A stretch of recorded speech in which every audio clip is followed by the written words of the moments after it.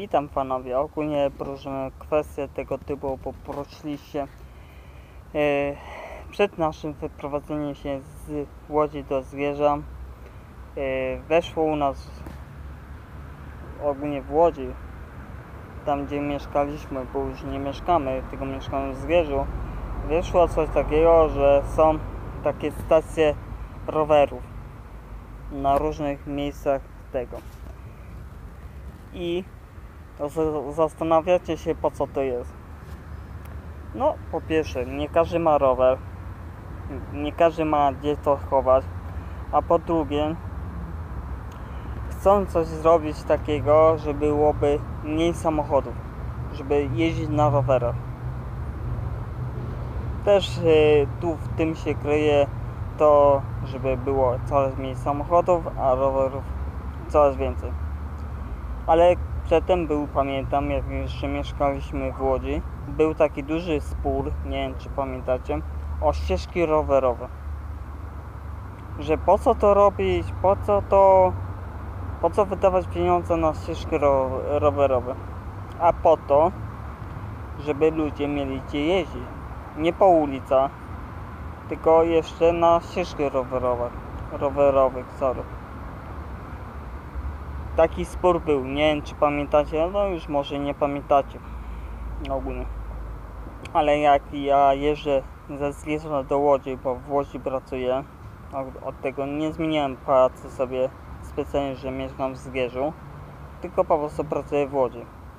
Tramwajem jeżdżę sobie z Zgierza do Łodzi, z Łodzi do Zgierza tramwajem, bo jeździ, kursuję ogólnie tramwaj to dla mnie to jest mały pik, mam migawkę, to mogę sobie jeździć, nie wiem, 24 na 24.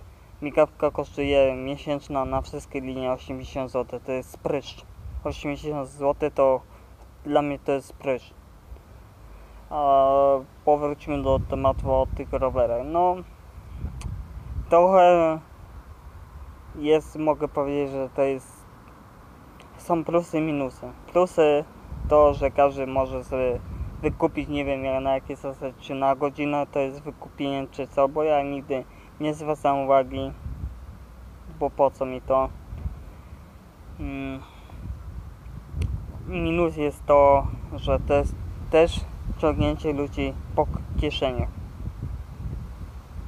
Żeby pożyczyć rower, no trzeba tam się zarejestrować na stronie, coś tam zapłacić przelewem czy czymś, tam nie wiem czym, bo nie zwracam uwagi, nie patrzę na to. I jest tam jakiś okres czasowy, nie wiem na jakiej zasadzie, że w ciągu na przykład wykupujecie sobie na 5 godzin. W ciągu 5 godzin możecie to robić, a później musicie oddać. Dlatego jest taki spór, że to jest ciągnięcie od ludzi pieniędzy, żeby zarobić. I jeszcze mnie to wkurza to, że są banery na rowerach M-Bank. Kurwa, ten M-Bank to naprawdę nie ma pieniędzy, muszą się tak reklamować. To cho chore, sorry, cho, kurde, się, chore jest to, to troszkę, żeby M-Bank tak się reklamował. To i tak klientów mają coraz więcej, no ale oni się tak reklamują gówno z tego wychodzi. No ale to jest ich troszkę nie moje. Pozdrawiam migodnie, elo.